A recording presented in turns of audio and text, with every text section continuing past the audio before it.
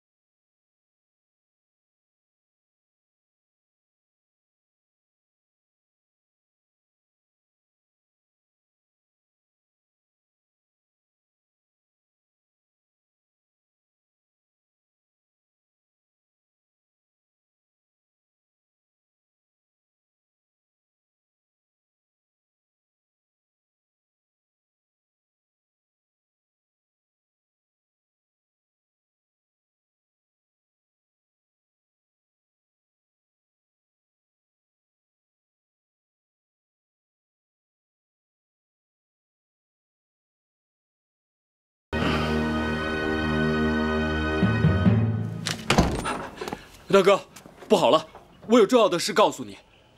什么事啊？我今天呢跟几个兄弟喝酒，其中有一个就是土匪屈老三的手下。那家伙酒量不行，没喝几杯酒啊，就把他们老大的事全抖了出来了。你知道屈老三要干什么吗？别绕圈子了，到底什么事啊？屈老三有个大行动，目标就是恒大龙的那批寒衣。他们要劫那批寒衣干什么？这几天道上都在传，文家呀，捐寒衣还有钱财。大家都盯着这块肥肉呢，谁先抢到谁先得。怎么会有这种传言？谁知道啊？大家瞎猜的吧？赈灾赈灾，不是捐钱就是捐粮。那个屈老三到底什么人？什么来历？我跟他也不熟，不过几年前跟他见过一面。说起来，这个屈老三也是个灾民，本来是个本分的庄稼人。哎呀，后来啊，他们老家闹干旱，他弄得家破人亡，爹娘老婆全饿死了，他自己一个人逼不得已才落草为寇的。现在已经成为周边地区的一大匪帮。屈老三这个人特别痛恨有钱人，如果遇到小家小业还好，要是遇到大户人家，绝不手软。这就麻烦了。怎么了？文家小姐要亲自送这批寒衣。文家大小姐去送寒衣，她不要命了。不行，我得提醒他。哎，大哥，这只是道上的传言，你跟他们说，他们不会相信的。我不管他相不相信，不能让他冒这个险呢。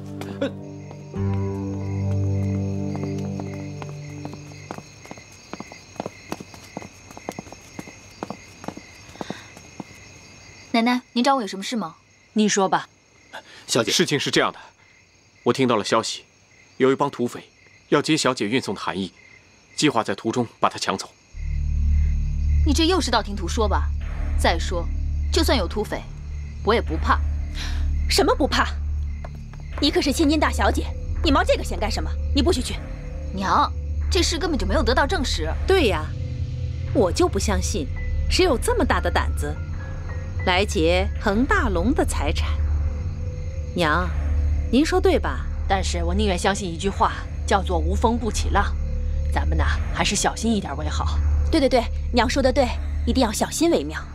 娘说的是，刚好仲家跟大哥从天津赶往北京，要过几天才回来呢。不然的话，就可以派军队送你们。要不，等他们回来再说吧。对，这样做会更安全。那就按你说的去办吧。奶奶，不要这样兴师动众的，我自己能行的。而且现在天气已经变凉了，那些灾民真的很需要那些衣服，不能再等了。老夫人。我有个提议，不如让我代替小姐运送寒衣吧。好，好，好，我觉得他这个提议不错。不行，我不同意，谁都不能替我去。顾书生，不知道你从哪儿听说土匪要劫寒衣的事？你们不会是一伙的吧？二少爷，要是我跟土匪串通的话，就不必在这里跟大家说这个事了。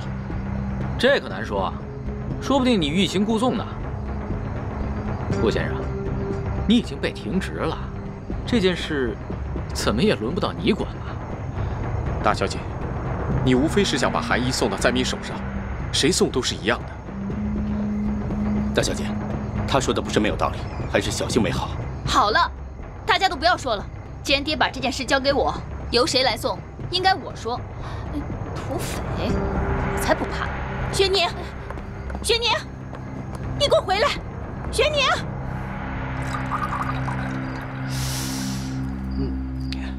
老哥，您这个大忙人请我喝酒，肯定是有什么事儿要谈吧？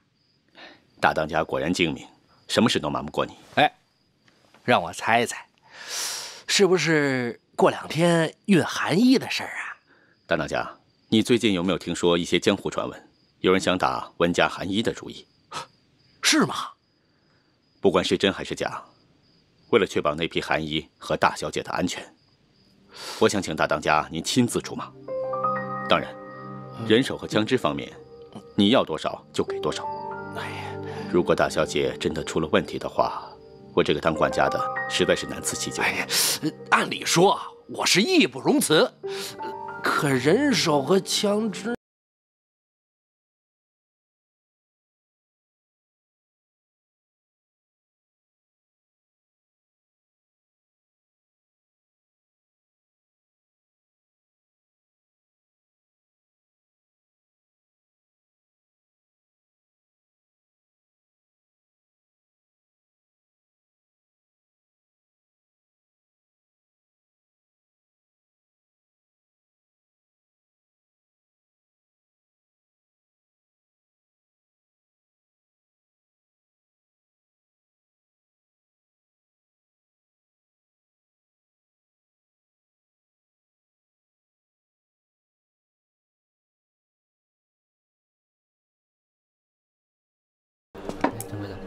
楚生，好，你来了，坐。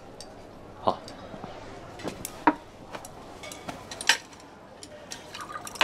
这么晚了，你找我这么急，有什么事吗？本来我想找小西或大哥他们，可是每次见面都是吵架收场，所以找你来商量。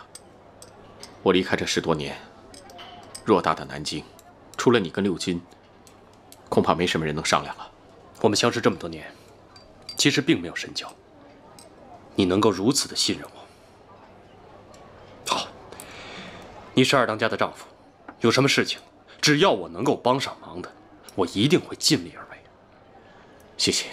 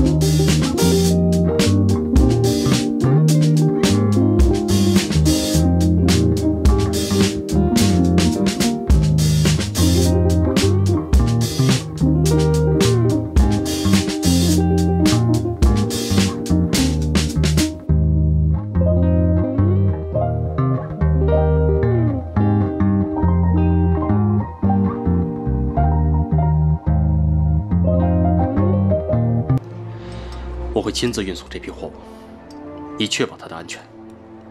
你放心吧。谢谢你，三当家。哎，来，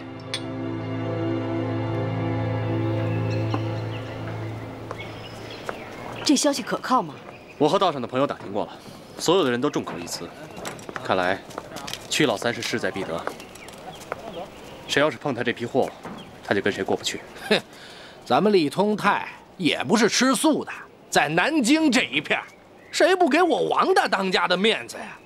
那个屈老鼠，他不敢来也就罢了，他要敢来的话，哼，我赏他几颗黑枣吃。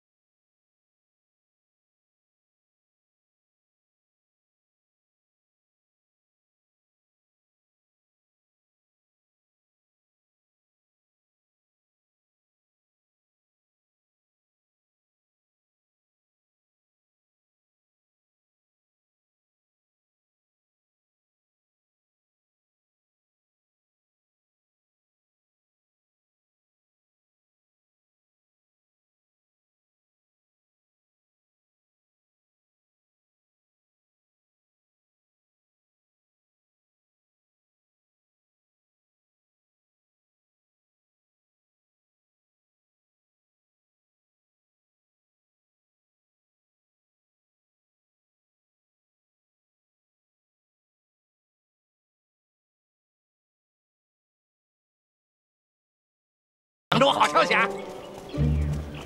动麻利点啊！看来明天还得辛苦你，我明白的。你要小心啊！放心吧。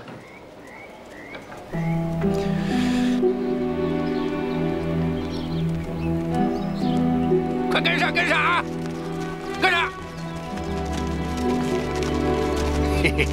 大小姐，你就放心吧。我从小就跟我们家太爷走南闯北的，什么场面没见过，什么土匪没碰到过。嘿嘿嘿，那屈老三他不露面还好，他要敢露面，我把他们一个一个拉成一排打靶。嘿，哎，大当家的，那在你看来，这些土匪真的敢来吗？你别听他们胡说八道，他们要是真来，我让他们死无葬身之地。驾，都跟上啊快点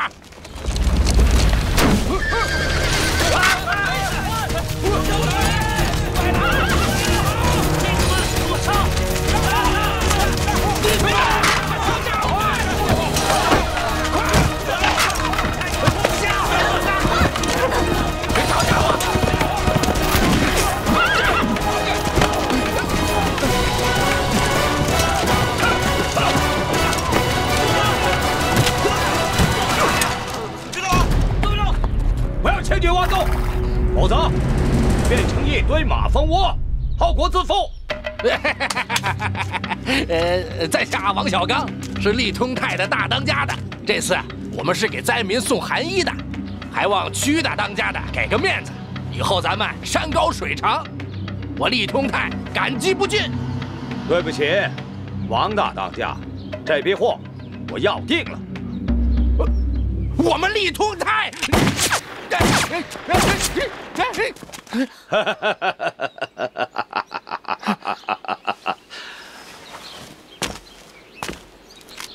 老子管你是太通利还是利通泰，要命的就不要反抗。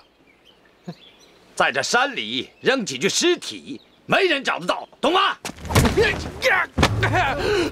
把暗标给我找出来！不许碰寒衣！你就是文大小姐吧？是啊，怎样？哼，有你在，我的金子就有保障了。给我找出来！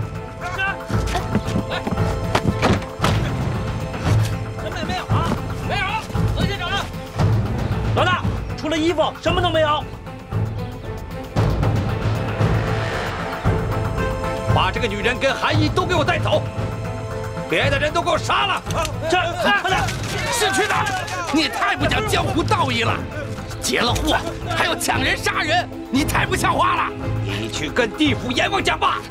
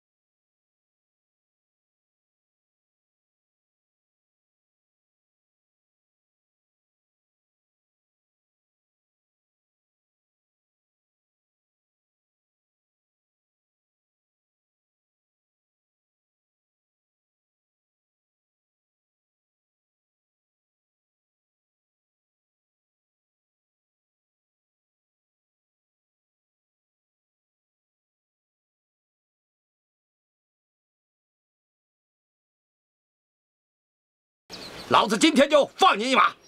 但货和女人，我要带走。屈四爷，别再跟我讨价还价。两毛的老子，大不了同归于尽，都给我押走。走，走，快，快点，快，快点走，快走，把这女的给我带走。走，快走，快走，走。我我我我怎么知道会有土匪啊？土匪出来还跟你打招呼啊？啊！我也是为了咱们立图太好啊！你少给我嘴硬！好了好了，别吵了，吵也解决不了问题。什么别吵了？什么解决不了问题啊？我们现在是要想想怎么善后的问题。怎么善后啊？你有办法吗？全是废话！当初我不让他去的时候，你怎么不说啊？二当家的，二当家的，全都算好了。说吧。咱们立通泰本身。加上货仓和一些田地，还有你们王家老屋，总共不过两万多元。妹妹，你你要把利通泰怎么着？不是，你要把利通泰也赔进去？对啊，你要把利通泰赔进去？是你把利通泰赔进去的，利通泰就毁在你手里了，王家也毁在你手里了，怎么样？我我我我我你怎么样？你不赔是吧？砸牌子是吧？那个叫曲老三的肯定会拿文学宁来不，我不二当家的，二当家的，的，打听到什么了？很棘手，曲老三放了消息，不准任何人插手这件事。我打听到的也是这样。这事难办了。难办也得办呢。赶快找两个人跟我去上海，找朋友把事情摆平。嗯。呃，那我也去。哎，那那那这次我就不去了。愣着干什么？该干什么干什么去。去。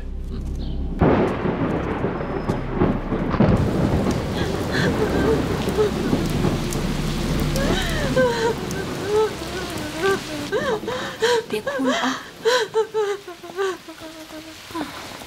大少爷，您慢点，慢点，大少爷，大少爷，大少爷，儿子怎么了？妹，坏人。杀，杀，杀杀杀！没事，杀了你得了。我们家雪女一定会平安无事的。儿子别着急啊！坏人，杀！说够了没有？说够了没有？你给我闭嘴！我儿子是你骂的？啊？你听他刚刚说了什么？我能不骂他吗？你们这些人，都希望雪宁死。你真是说疯话呀！谁希望玄宁死啊？只是玄宁什么事儿都自作主张，自作自受。他吵够了没有？娘，雪宁不会有什。么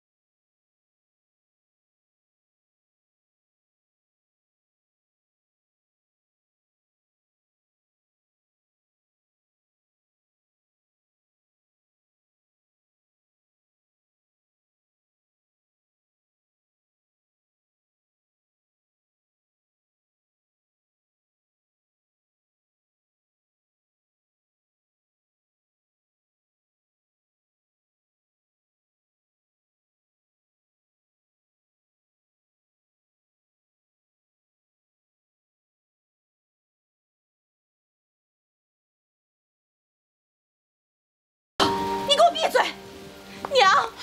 你看他，他咒我们家玄宁。我又没说什么，我闭什么嘴呀？你这个人，你都给我闭嘴！还嫌这个家里不够乱吗？啊！叫你们想办法，一个一个都没有办法想。可是添乱呢，却一个比一个厉害。你们要是想不出办法来，都一边待着去，别在这儿给我添乱了。好了好了，你就别哭。老爷，老爷回来了，老爷。哎呀，郭轩，你可回来了，回来就好，回来就好。娘，我没事，让你担心了。娘，有我们在，您就放心吧。老爷，你一定要救雪宁回来。我知道，我不会让雪宁有事的。大家冷静一下。娘，那帮土匪有没有送勒索信来？哦，有，快去拿。爹，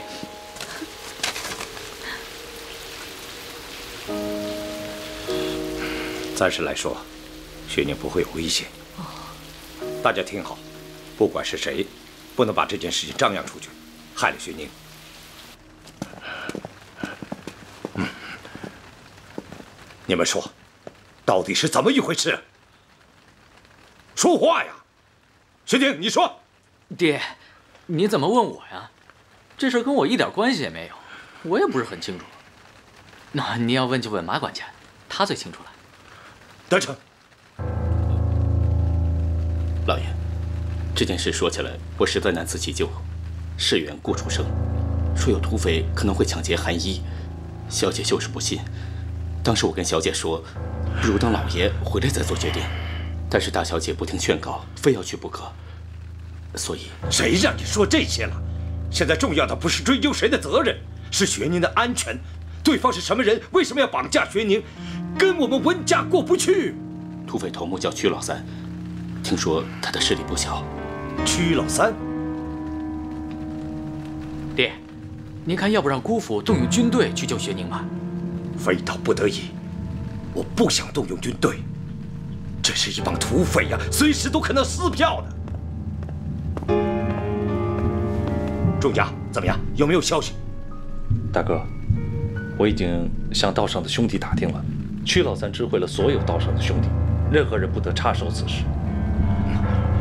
他是志在必得了。按照道上的规矩，所有人都会袖手旁观的。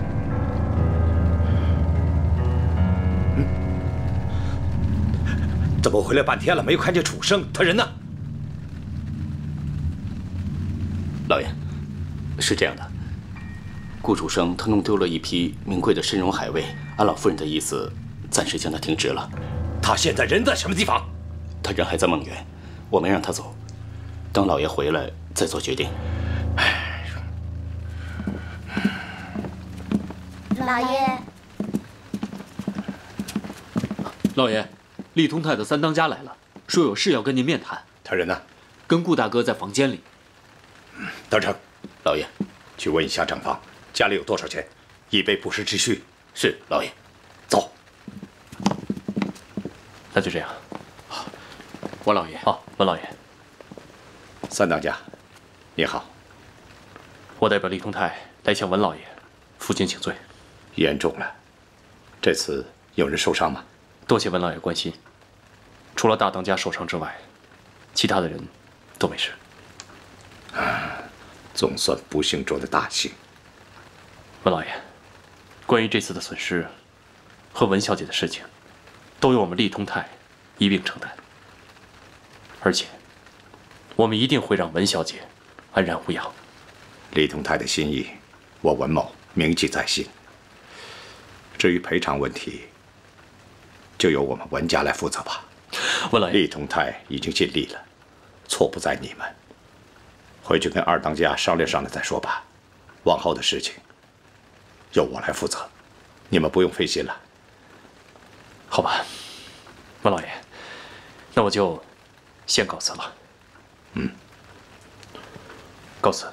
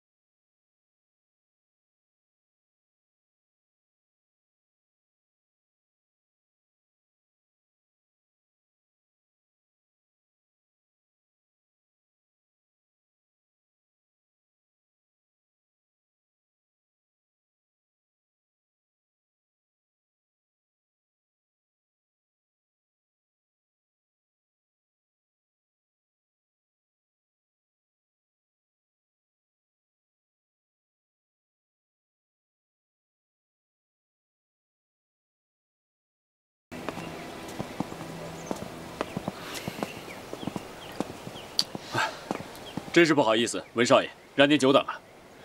你们陈厅长到底什么时候回来啊？呃，这个嘛，我也不知道，因为我们厅长有些时候头天晚上应酬晚了，第二天就会迟些过来，但有些时候却比谁都早到，就是有一点儿神龙见首不见尾的感觉，所以嘛，真的说不定。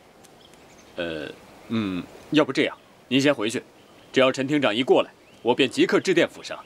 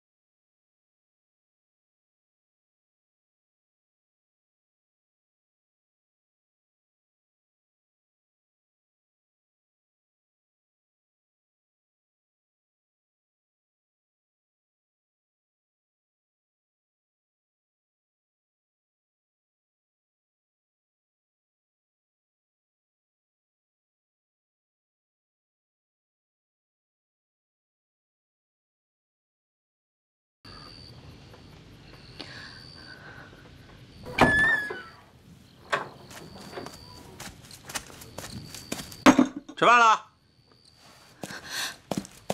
不吃，这是人吃的吗？哎呦，还挺厉害的！我告诉你，就只有这些，爱吃不吃，我看你能挺多久？千金小姐，我呸！哎，嗯。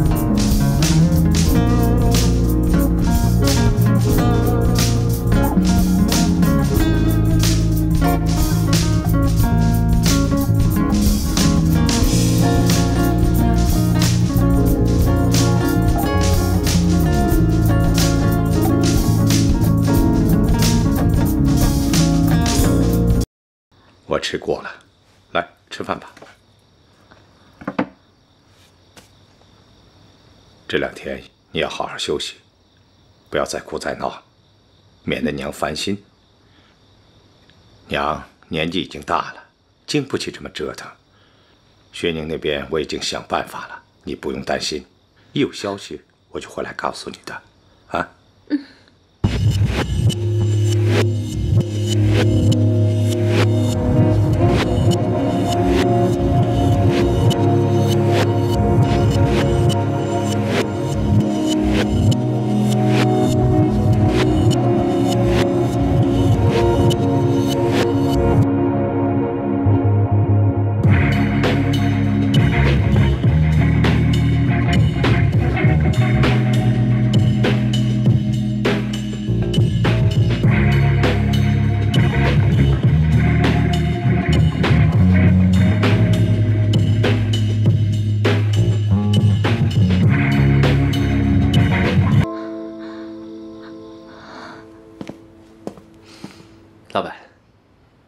文学宁被绑架，可是便宜了那曲老三了。你看他现在又得了大笔的赎金，又得了韩医，这是曲老三在帮我们的忙，但这钱得是文国宣付。老板，咱们这个计划可真是天衣无缝啊！你看现在文国轩要忙着救女儿，就无暇顾及其他了，而且没有了韩一这一招，他竞选商会会长的胜算可是越来越小了。大平啊，你说这个曲老三会不会，会不会一不小心因为什么原因把人给杀？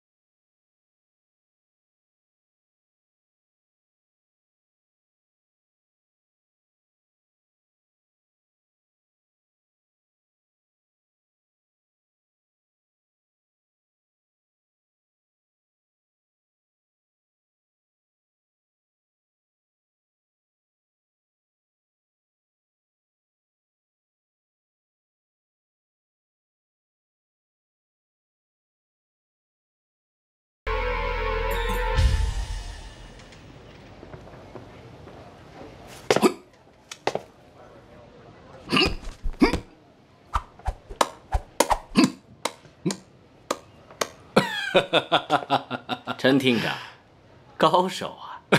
来来来，快坐快坐。哎呀，林老板见笑了，这雕虫小技不登大雅之堂啊！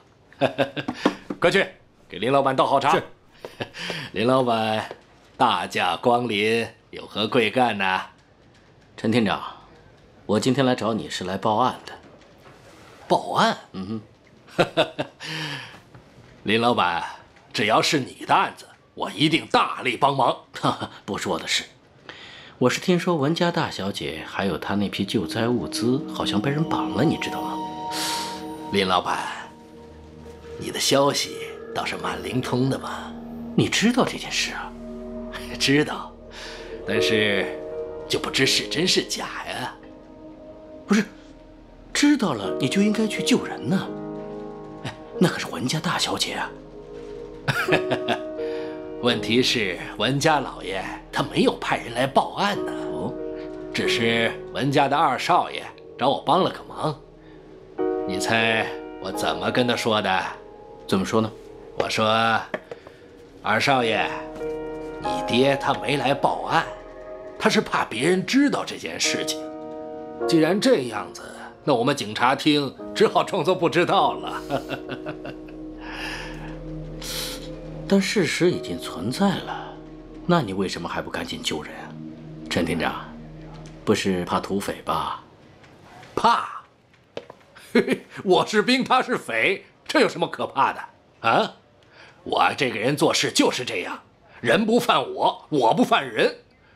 问题是文家老爷他没有报案，嗯，没有报案就没有花红，没有花红，你想想，咱干嘛要砸人家的生意呀？是不是？那是谁干的？你知道吗？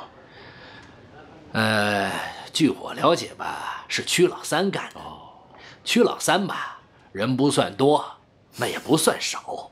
我这个人做人的原则就是这样，人不犯我，我不犯人。你林老板一片好意，问题是救得出来还好，那要是救不出来，中间要出现什么事情的话，那我什么好处都没有啊！屈老三要恨我，文家老爷还要埋怨我，我是里外不是人呢！啊，林老板，你说我说的是不是这么个理儿啊？我说陈厅长。你要救个人还这么算计啊？哎，这叫明哲保身呐，可以理解。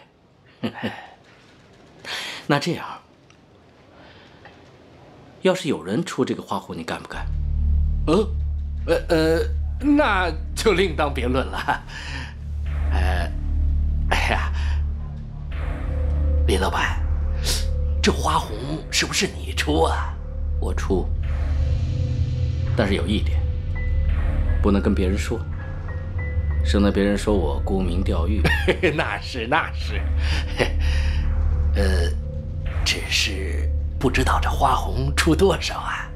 一个数，一个数。嗯。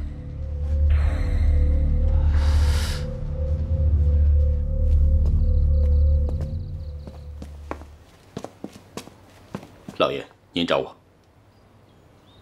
学宁的赎金，你给我准备好，五万银元，明天用。是，老爷，您准备怎么救大小姐？把钱准备好就行了。